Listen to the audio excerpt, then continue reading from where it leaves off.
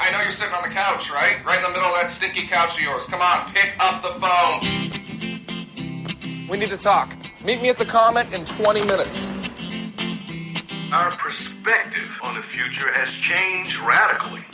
McIver. No one with brain cells is stepping up to run against him. So, I'm going to.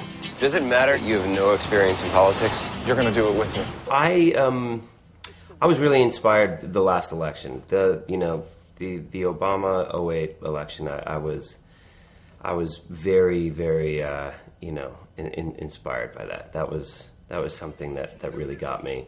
But again, we're talking big scale politics. We're talking presidential elections, um, and you know I really actually have to give a lot of credit to Stephen and this movie sort of opening my eyes a bit. My politics are to the left, but really I think my politics, more than anything else, are commitment to democracy, to the whole idea of democracy, the idea that the little guy and the little gal, and um, and the big fat people too, but but um, metaphorically the little people, which is one of the things we play with in the movie, are as capable, if not more capable, of running a nation than the people, the elite people at the top. So if there's anything I'm really committed to, it's telling the people who I grew up with, the people who I see, and in some ways, we were talking about it yesterday, women who I think, despite feminism, still struggle a little bit with going, I'm going to run the country.